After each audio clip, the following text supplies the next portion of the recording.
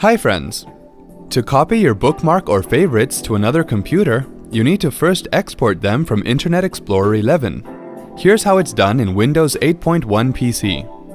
On the Start screen, click on the Internet Explorer tile to open it. Click on the wrench icon at the bottom menu, and then click View on the desktop on the menu that appears. Click on the Favorites icon at the top right corner of the window.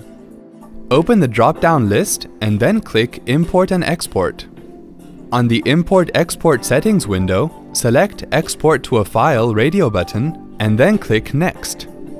Select the checkbox next to Favorites and click Next.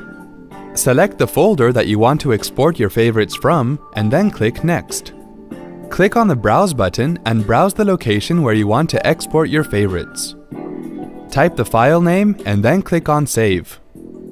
Click on Export and then click Finish to successfully export your favorites. See, that wasn't hard at all. Thanks for watching.